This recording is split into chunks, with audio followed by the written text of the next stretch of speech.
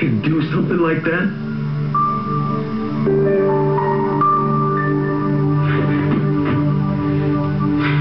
Charity's like something out of a horror movie. How does this mean all of a sudden? Her doll's alive after all.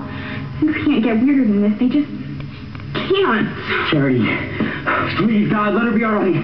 Come on, Charity.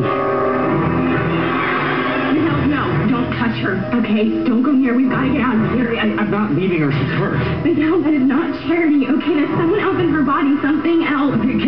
It's crazy. I know it sounds crazy, but it's true. Now, I don't know who or what that is, but we've got to get out of here now. You go. You go. I can't leave her. Miguel, if you want to help Charity, then come with me now, all right? We can send somebody back to help her, but if you stay, she's just going to kill you. Like you said you saw her do in the mirror. This doesn't make any sense. I know, none of it makes sense, but we've got to go now.